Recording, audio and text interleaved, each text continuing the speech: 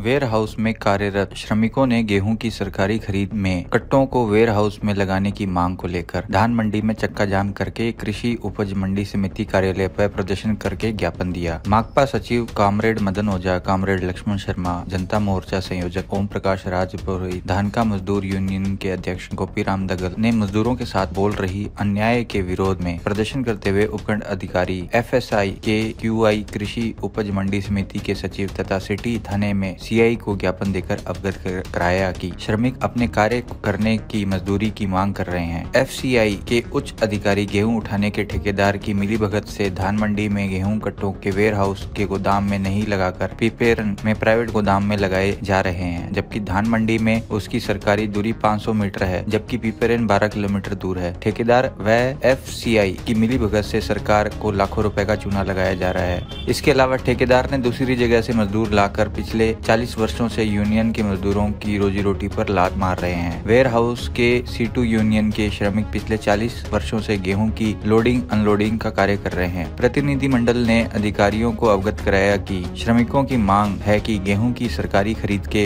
कट्टों की loading unloading का कार्य यूनियन श्रमिकों से कराया जाए। कामरेड मदन ओझा ने कहा एफ़ व ठेकेदारों के गठजोड़ के कारण श्रमिकों को हो रहे नुकसान को सहन नहीं करेंगे। ठेकेदारों के श्रमिक विरोधी कार्य को बंद कराने के लिए